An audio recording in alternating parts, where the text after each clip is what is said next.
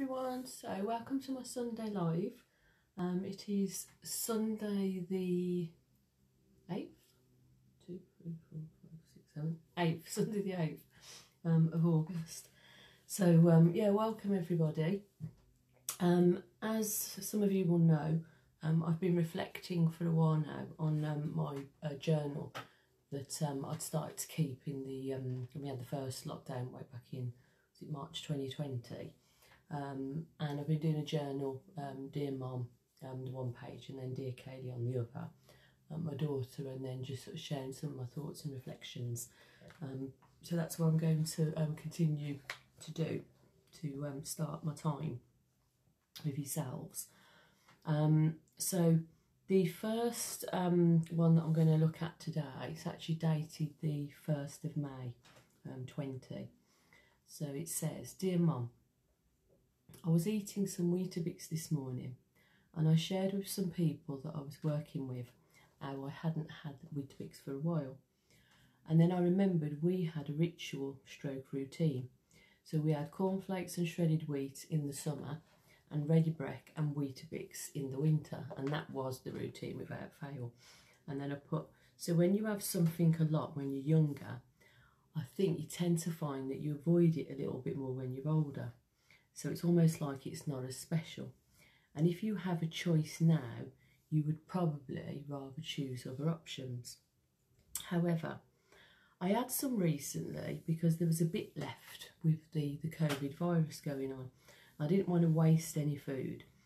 And I was really reminded how easy the texture went down. This is about the Weetabix. Um, and I also had it with cold milk, not hot, and I've got exclamation marks there it almost felt like a bit of um, sort of quite naughty, a sacrilege to have had it with cold milk because I only ever knew, you know, to me, Weetabix was hot milk. I'd never even entertained the idea of cold milk, um, but which I'd never ever considered when I was little. We always had it with hot milk. I recall you lining up all our cereal bowls and spoons so they were all ready to go in the morning, almost reminding me like the three little bears. Hi, Mandy. Um, in Goldilocks. All our clothes would also be in a line in three piles on the settee. I remember the same with Christmas and prezzies, you would have them all in a line. Um, and I was sort of reflecting then that you were really good at organising and routine. Um, and I put here as well, I'm sure it would have helped having three children at that point to sort, all, you know, sort of fairly young. And I was also thinking afterwards to myself, oh, I wonder if that's where um, maybe I'll get some of my organisation skills from because I definitely think I'm a I'm an organised um, person. I definitely plan, um, and and in a lot of ways it, it, it you know works for me really well. I have to need to um, because of my work and my clients and and you know juggling the logistics of what times I can offer, trying to make sure I offer certain times for certain people who might want more regular slots.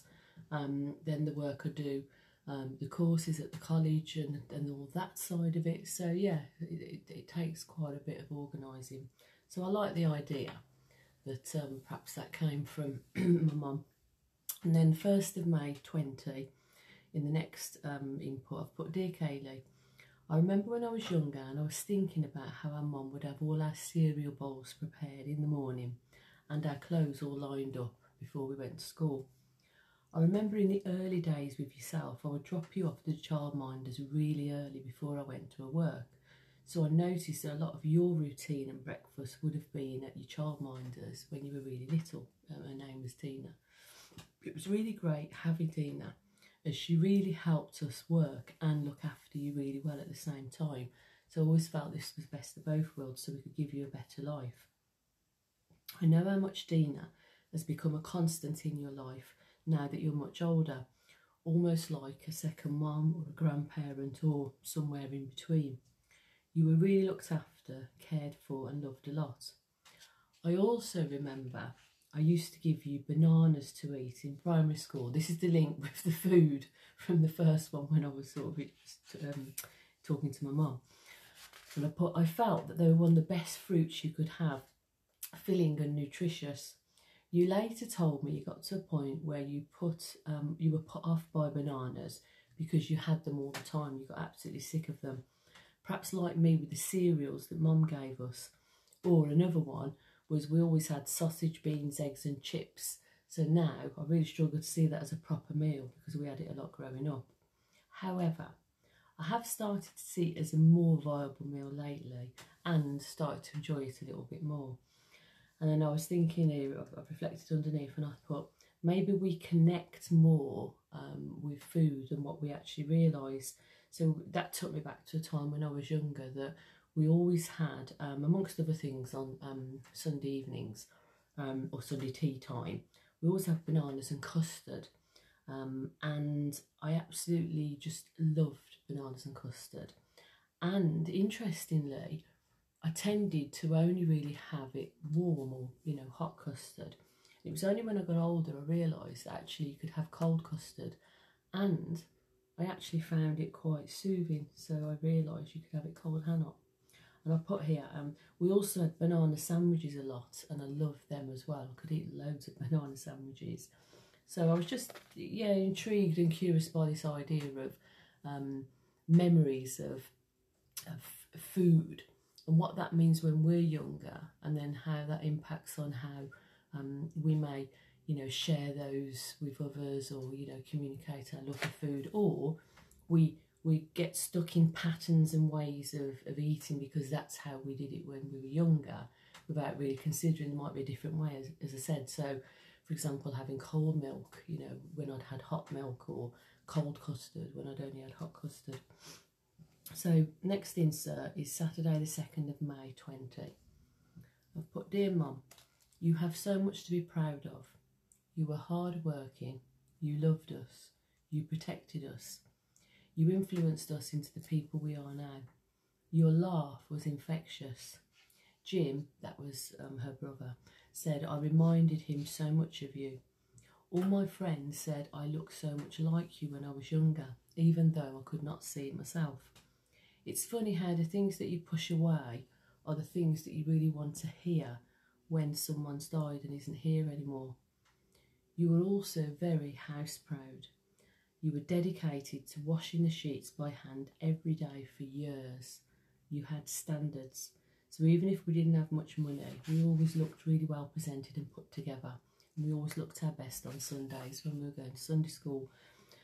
I was just thinking, reflecting on that piece about um, um, the standards and dedicating to washing sheets. I think I've, um, I've mentioned before um, in other things, I'm sure, on other lives, that um, I I actually I, I wet the bed up until I was about at least 13 um, and eventually got some medication from the doctors and that helped over time. It, it still took a while. So I was thinking about that notion of, you know, my mum um, didn't have an awful lot of money. So we would have been one of those last ones to say, for example, have got like a washing machine. So literally when, you know, I'm thinking about her dedication and her hard work, she would have literally every single day wash the sheets by hand because she had to, um, obviously because you know I'd wet them, um, and you know sort of washing them in the bath and then sticking them in. Um, it's like um, it's hard to explain, like a boiler. It was like a boiler because I used to have a thing called a boiler stick. So she put all the stuff in there and then really sort of work hard to try and get it clean, and and she always did. So it really, really amazed me. So I was just sort of thinking back to how hard she worked. Um, and and uh, yeah, I do wonder and think that perhaps some of that had an impact on her, her body.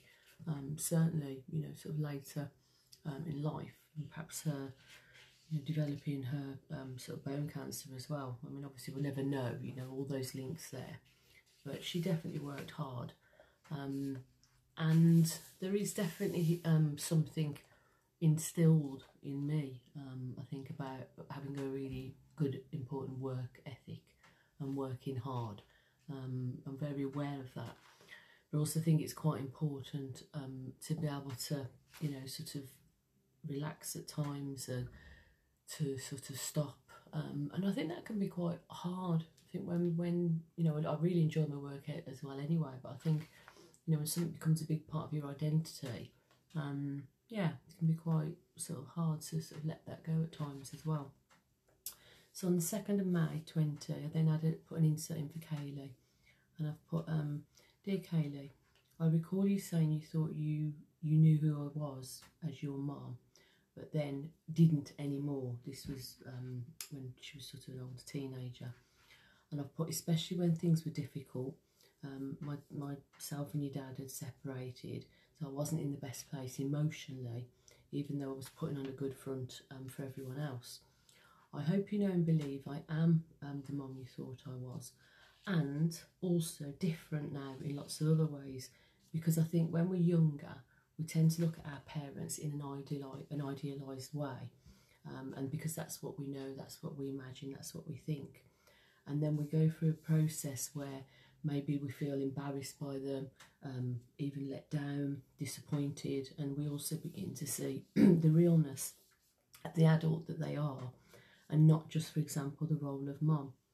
Then maybe over time we can have developed a different kind of relationship built on one that maybe, you know, sort of creates different ways of being.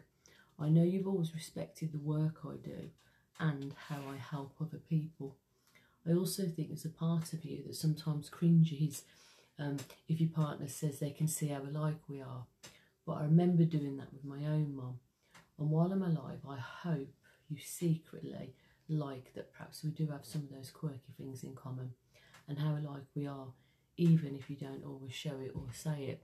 I was thinking about um, I've watched you know quite a few of the you know who do you think you are and then the family um, programs where they're trying to find people perhaps you know have lost the parents or they've been um, fostered or adopted over the years and big thing that comes out every single time um, is them wanting to um, to find this you know whoever they are the person where they can go ah I can see the likeness in you and me like I'm connecting there I'm looking at myself in some way shape or form. Um, and that's what sort of struck me really about this idea of you know wanting to have a sense of feeling you're part of that person and vice versa and that you connect with them in some way. Even all the you know maybe the quirky things or the things that you might think oh i don't know about that so i, I just think that's quite a nice sort of thought and feeling really um, my next insert was um, dear mom that was monday the 4th of may 20 and i've put dear mom um, i'm not sure you were that great with my emotions and upset. I got a sense I felt like I needed to shut it down or minimise it in some way. I remember Nan being quite demonstrative with us, I can't really recall if you were that touchy-feely um, together. I recall as we got older you being annoyed um, if Nan and Dad had too much drink together, as you felt they seemed to wind each other up, ending in arguments at times. Or you having a go at Nan for having a whiskey bottle in the bin when you went up to see her. But this only came from a place of care as you worried about her and other people. I imagine Nan was really lovely, especially when Grandad was around, but he'd also been dead for a number of years. And I recall also um, a point where she didn't even have a TV in the house, and it did get me thinking at the time that sense of how perhaps much more you, your world becomes much smaller and begin to perhaps feel more isolated. But I remember when I ripped my woolly new tights when I went to the Christmas party at school. I had a hole in my knee and I was working myself up to tell you, and I was really worried because I knew you'd be angry. And the time when I fell headfirst in the blackberry bush next door, and again you got annoyed, and I cried up the garden path. But I came to realise that anger and annoyance can show you care, but the message does not always communicate soothing and calm to others. And I think that's the thing you only perhaps realise in reflection looking back that you know if somebody's annoyed or irritated or angry then really that you know meant that perhaps they could they cared and you know that perhaps were also showing some of their fears and their worries as well um, but as I said at the time when you're younger that doesn't necessarily always communicate in that way so you may end up um, picking up you know some anxieties and, and angst about certain things um, perhaps more so than what you you realise or you sort of really appreciate and then my last insert um, is for Kaylee on Monday the 4th of May 20. And I've put, Dear Kaylee, I want to make sure I try and accept your feelings and emotions and not try to cut them off or shut them down. I remember at times when you got anxious and panicky over things, I would try my hardest to be calm and talk you into staying calm, but it didn't always work. And I think I should have perhaps got you to be physically breathing more with me and tried to breathe through it. There used to be a point where I tried to keep myself in a calm place, but then I think I'd find myself losing patience and getting worked up. But this was because it was so hard to see you upset and not feel I could do anything in that moment to help. I hope I show you overall that, you know, to be able to stay with and be with your emotions and accept it's okay to feel them. And it can feel painful at times, but breathing through it and accepting yourself and having other key people to accept you and your emotions is really, really important. And that's, you know, something that I would hand on heart, you know, still say, yeah, I really still, you know, trying to develop and work through um, and, and deal with myself because um, I think it can still be quite hard to um, express and show and feel that level of um, yeah, sort of pain and, and worry and angst over things as well. But I, I know from experience that to be um, to be with it and to be present to it and to not step over it and not ignore it, I think is really really important, and to have those supportive people around you as well. So those are my um, my inserts from my um, sort of journal. Um, I'm going to share with you um, my well, I'm actually going to do um, two words for the, the week. So one, it's called akrasia, um, and it's spelled A K R A S I A, akrasia. And the meaning is the lack of will or self control resulting in one acting against one's better judgment. The noun, which also is against one's judgment, and then the etymology, it comes from Greek akrates, which means powerless, then from a without, and kratos meaning power and strength. And this is what struck me about this. It says a well known experiment in akrasia is the marshmallow experiment, which tested children's ability to self control for delayed gratification. Those that were able to wait for rewards tended to have greater success in life, and they actually followed them up over a number of years. So, without remembering all the exact detail, say for example, they would have said, right, um, to a child, you know, if you if you want this marshmallow now, um, you can have it now. I'll give you the one. But if you wait another, say, half an hour, um, you can actually have two marshmallows. So it was that idea of, you know, will the children be able to sort of wait, um, you know, and have that sort of level of frustration tolerance, but they're able to manage it, or will they go for short term gratification? And that's what I mean by when they followed them up later in life, some of the experiments and the studies were suggesting um, those who were able to wait um, tended to actually have greater success in life. Um, it's quite interesting because it did remind me of, um, I'm sure sort of sister and brother would tell you about this when we were little. Um, when we used to have um, like Christmas selection packs and so on, it was a bit of an unspoken thing. So was, you wouldn't eat them all at once and put them in um, in the fridge, and but there was this standing thing whereby I would literally keep waiting and waiting and waiting, and I wouldn't. I would want to be the last person to still have some of my um, sort of chocolate left. And I remember even now, you know, my sister mentioned this and going, it was always you. You always had that selection box, you know, with some of your chocolate still in there when we'd sort of finished, and maybe we'd wait and wait and see, you know, if you would sort of eat yours. Um, but yeah, so I just find that really interesting to sort of think about that. Um, another um, word of the week, which I had actually never heard of, I don't know about anybody else, it's called philocynic and it's spelled P H I L O C Y N I C, a philocynic. And actually, this was news to me, the meaning of it is a dog lover or the adjective fond of dogs. Obviously, I've you know got dog myself, and it says it comes from the Greek philo, loving, and kaion, meaning dog. Ultimately, from the Indo-European root quan, which is dog, also the source of canine, chenille, ken- kennel, canary, I'm sorry, canary, hound, dachshund, corgi, and so on. So yeah, philocynic is actually um, term for a dog lover, which I was fascinated by because I'd never heard of that. Considering you know, I obviously got my own dog, so yeah. Um, what I'm going to share now is um, one of my random facts that I like to share with you every once in a while. So, random fact did you know that children ask at least an average of 300 questions a day? 300 questions a day. That's an average. I'm sure there'll be some um, parents out there saying, oh, I feel like mine asks more than that. But that's the average. And it says a study done by Littlewoods observed young children and recorded the questions they asked the adults around them.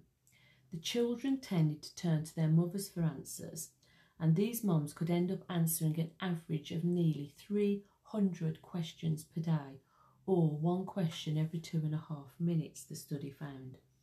The mums reported that the hardest questions they were asked included, and these two are the ones that apparently were the hardest why is water wet? And what are shadows made of? So, why is water wet? And what shadows made of? I'd, I'd love to I'd love to have somebody or a couple of people um, looking at that and coming back to me as adults and answering how you would um, go about sharing that um, with uh, yeah some of your young children. I think that would be quite uh, quite challenging to put it mildly. So that's my um, that's my random fact for you. Now something I came across, but I'd, I'd read a little while ago. Um, but I just felt you know sometimes you read something and you think yeah it felt the right sort of time to mention it again. Um, I came across what they call um, the an invitation to the dance the um, Oriah Mountain Dream, and it's called The Invitation. And the way it came about is it says, um, when Oriah Mountain Dreamer wrote the prose poem, The Invitation, she created a call that has profoundly inspired people from around the world. She wrote the prose poem, The Invitation, after returning one night from a party where she'd found herself frustrated by the level of superficiality these events often function at. She said, I just sat down and wrote my responses to all the usual questions that people ask. Like, where do you live? What do you know? What do you do for a living? And I wrote what I really wanted to know, not just from others, but also from myself in a sense. She'd been playing around with the structure, it doesn't interest me, since taking part in a workshop with the poet David Whyte. This formula has been allowing her to go deeper into a variety of issues in her life at that time. So I'm actually going to read it um, again because I just think it's it's really lovely, um, the invitation, and I think it has a lot of power, a lot of strength in it. So the invitation. It doesn't interest me what you do for a living. I want to know what you ache for and if you dare to dream of meeting your heart's longing. It doesn't interest me how old you are. I want to know if you will risk looking like a fool for love, for your dream, for the adventure of being alive. It doesn't interest me what planets are square in your moon. I want to know if you've touched the centre of your own sorrow, if you've been opened by life's betrayals or have become shrivelled and closed from fear of further pain. I want to know if you can sit with pain, mine or your own, without moving to hide it or fade it or to fix it. I want to know if you can be with joy, mine or your own, if you can dance with wildness and let the ecstasy fill you to the tips of your fingers and toes without cautioning us to be careful, to be realistic, to remember the limitations of being human. It doesn't interest me if the story you're telling me is true I want to know if you can disappoint another to be true to yourself, if you can bear the accusation of betrayal and not betray your own soul, if you can be faithless and therefore trustworthy. I want to know if you can see beauty even when it's not pretty every day, and if you can source your own life from its presence.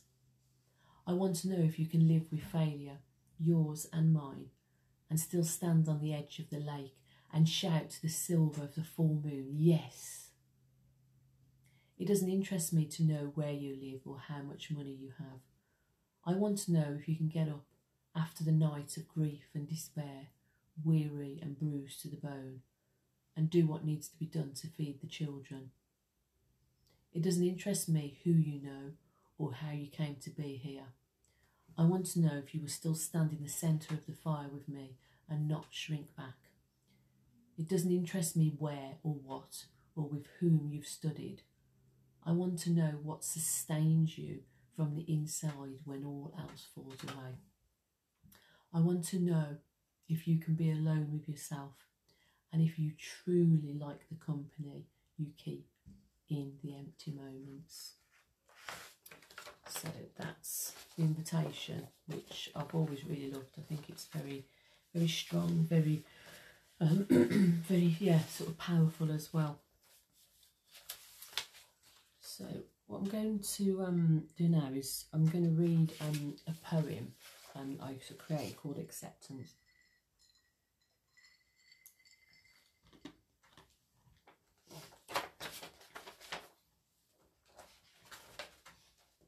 Acceptance. Acceptance of what? Of self, of other. Acceptance of denial. To be in denial. Can you accept denial? Is to accept denial to no longer be in denial? Denial of your infallibility, your secrets, your fantasies and desires. To say yes to it. To accept that means no to something else, something more than, less than, somewhere in between. Is in between enough? Enough for who and what? To accept what exactly? Who you are, who you've become, who you are becoming. To become more accepting, accepting of self. And in doing so, acceptance of others. I see myself in you. I see you in myself. I see myself in all its glory and mess. The glory and mess of being human, accepting I am human, accepting what it means to be human, to be imperfectly human, to accept I am imperfectly human. And that was called Acceptance. That's my poem for this week. So, sort of coming towards um, a time where I'm going to um, sing a song, and I'm sure that um, you will be joining me, um, whether that be um, in spirit or actually in song yourself or dancing around your room. Whatever that is, is absolutely fine. All accepted. So, you ready, guys? ready for a closure of my song I've chosen. Very classic one, this one.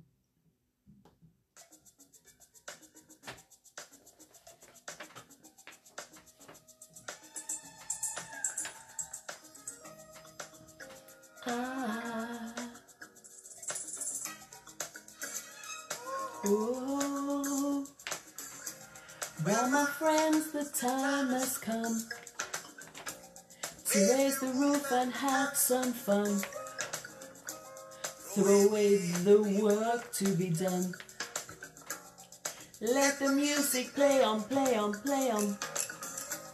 Everybody sing, everybody dance. Lose yourself in wild romance. We're going to party, Karamu, fiesta, forever. Come on and sing along. We're going to party, Karamu, fiesta, forever. Come on and sing me a song all night long, all night, all night long, all night, all night long, all night, all night long. People dancing all in the streets. See the rhythm all in their feet. Life is good, wild and sweet. Let the music play on, play on, play on. Feel it in your heart and feel it in your soul. Let the music take control. We're going to party, liming, fiesta, forever. Come on and sing my song all night long, all night, all night long, all night, all night long, all night, all night long. Once you get started, you can't sit down. Come join the fun, it's a merry-go-round. People are dancing their troubles away. Come join our party, see how play. Bam, woo, boom, bam, woo. Tamboli say the why yeah. Jamba jamba, way to party, oh we're going. Oh jamba, tambadi let's say the why yeah. Yeah, jamba jamba, oh, oh, oh, oh, yes. We're gonna have a party all night long, all night, all night long, all night,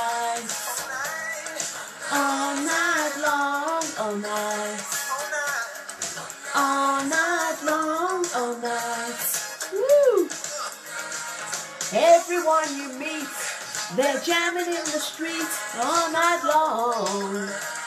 Yeah. Woo! Everyone you meet, they're jamming in the streets all night long, all night, all night.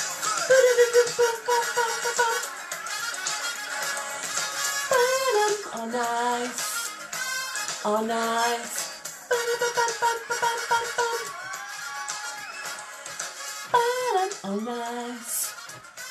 All night. All night all night. So that was our song for this week, All Night, by the brilliant Lionel Richie. Um, so I was singing with him. Oh, I love that, Mandy. My dog was looking at me with big eyes. That sounds really beautiful. Um, or you'll have to let me know what kind of dog you've got and what their name is. I don't think you've ever shared that. So, um, thank you for um, sort of joining me. Um, and also, if you haven't um, joined me at the moment, um, but you sort of join later or you watch it um, on sort of record, that'd be absolutely brilliant. Still, you know, please feel free to make any comments, um, share with me your thoughts, come back to me and let me know, um, you know, what works for you, what's important for you. If there's anything that you you know would like me to um, share more of or um, an area or topic to explore then please do also give me some feedback on that. I'll be more than happy to do that. Um, but yeah, so from my sort of journal, um, you know, obviously I've been reflecting on um, both to my mum, my daughter, um, some of the things I was sharing about um, words for the week, um, also, um, you know, the, the random facts that I love sharing, the invitation, which I think is very powerful. I always really love that. Um, some of my, you know, poetry and hopefully a bit of energy and uplifting um, with the songs as well. So thank you. Um, have the rest of a really good week. Um, lots of love, lots of hope, um, lots of really good things. Um, and yeah, just let me know if you need any support or any help or you just want to share how great things are for you in any way, shape or form. So take care. Thank you guys. Love you lots. Bye.